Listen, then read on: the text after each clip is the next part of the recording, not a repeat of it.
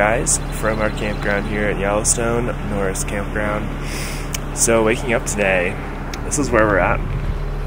This is our campground, this is our tent. So we are greeted, we are greeted by a buffalo. Check it out. we just have a buffalo here grazing and eating grass. Man, these things are so massive. Is he eating bark? Yeah. He's eating bark. That's what he's eating. Just eating bark. Like, no big thing.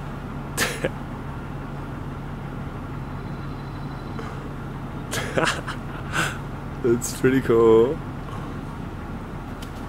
Wow. Now the buffalo is directly in somebody's campsite. And I think he's getting, I don't know what he's doing. At the Norris Basin Geyser area. And you can just see all these, called fumaroles, steam vents all over the place. Yellowstone is a super volcano, and this is evidence of it.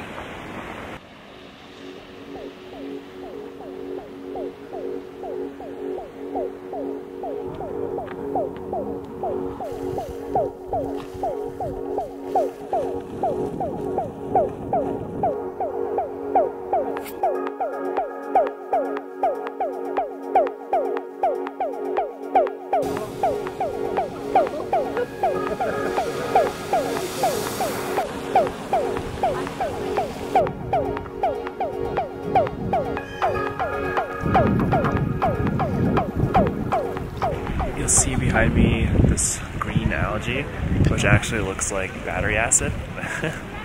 Apparently, uh, it's a certain type of algae called like thermophiles or something like that. They prosper in like really warm temperatures. Now, one thing that you won't really get from watching the video is the smell of sulfur. You just kind of get used to it. But anywhere where there's steam vents, geysers, anything coming up, uh, you just smell sulfur all over.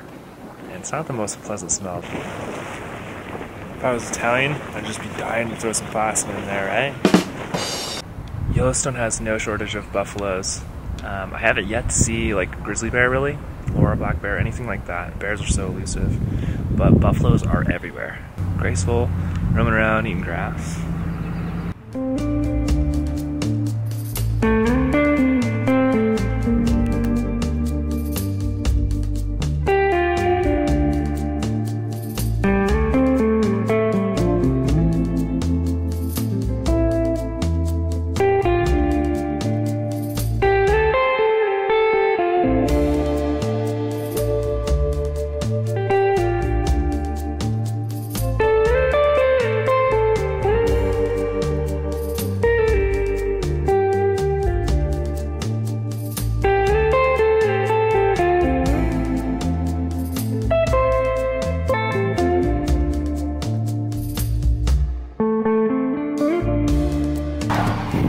Cool. How close did you get?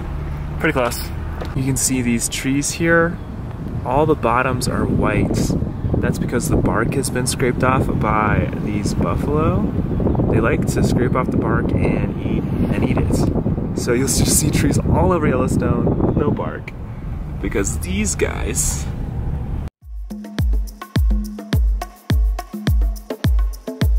Grand Prismatic Spring here. This is Yellowstone's biggest spring and probably its most impressive. It's got a variety of colors. It's got the blue all the way to the warm colors, the oranges and reds. Uh, it's pretty gorgeous and it's massive.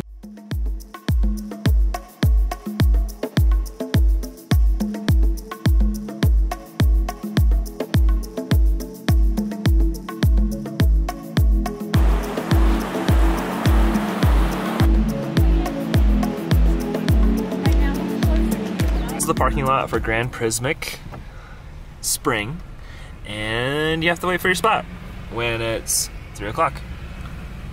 There's cars.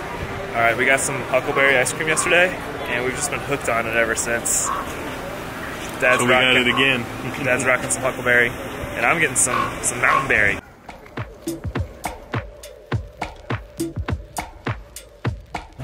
We're sitting here waiting for Old Faithful to blow, along with, as you can see, lots of other people. Yeah, apparently they got it down to a science here uh, today, or the one we're going to witness is going to blow at 4:23, give or take 10 minutes, right? We'll see how accurate it is. Yeah, It's yeah. supposed to be accurate.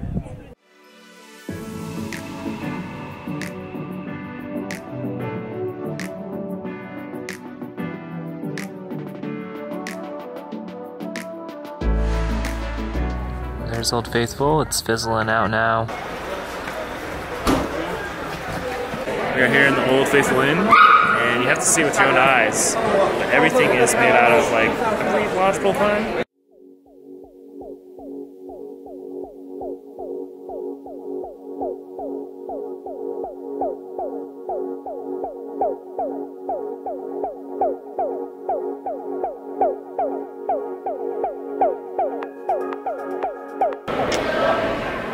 This area up here is called the Crow's Nest. But I guess a recent earthquake kind of shifted some of the wood and it's now unsafe. Uh, but I was going to go all the way up there. But apparently nobody can now. This is as high as you can get here at Old Faithful Inn.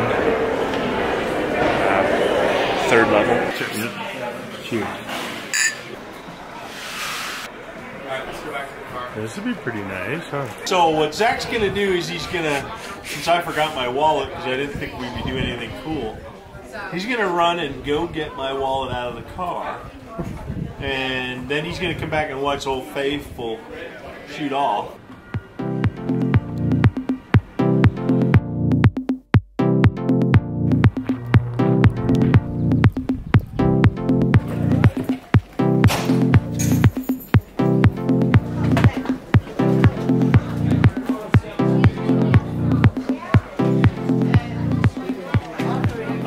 I got you your wallet. That's awesome.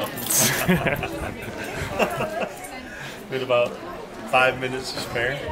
Alright, made it in time with my dad's wallet to catch a second eruption of Old Faithful. And we are sitting good. We are sitting comfortable here. We got some hyphen Hefeweizen beer. Cheers. We got some hyphen Hefeweizen beer. We are chilling at the Old Faithful Inn, which you can just stroll on up here. You don't even have to have a reservation and hang out. So uh, yeah, waiting for Old Faithful to erupt one more time. Because why not? We're in Yellowstone. That's what you do here. Old Faithful is right there. When you're spectating Old Faithful, it can be early by 10 minutes, or late by 10 minutes, or right on time. So right now we are in the early section, waiting for 5:50. And it happens like- really quick. Starts to blow and then it, it's guys. but it goes for like a minute, so it's like not like you're gonna miss it. Uh, but we are in the ready position here, just uh, waiting to see it from a different perspective. Yeah, there, there it go, there it goes. It's it's got to be close. Uh, it's, it's 6:02. It was supposed to arrive at five at 5:50. And it's Plus or like- minus 10 minutes. it's So like now 20 minutes late. Now it is late. It's late. not gonna happen. So we're videoing Old Faithful being not faithful. Yeah, but Get this lady in here. Go ahead. there it There it is. Hey. Here we go.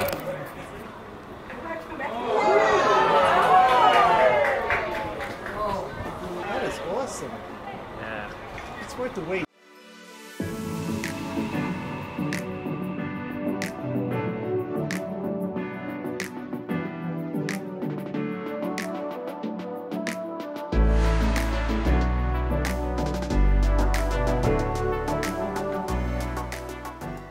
Finally a good night where it's actually warm. You can see the stars. And we have our first campfire going here. First campfire. It's been a good day three. Cheers. Cheers. Catch y'all tomorrow.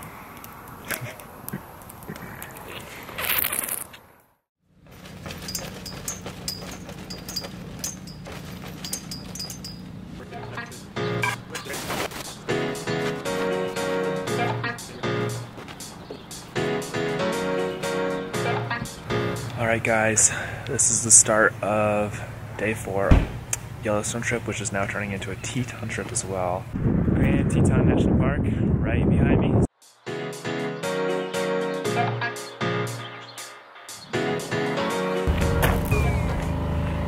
Out here at Grand Teton National Park, and these mountain ranges are just gorgeous. The whole drive so far. I don't know if this is going to be a vlog, because there's not a lot to say, it's just a fantastic view. But uh, yeah, check it out.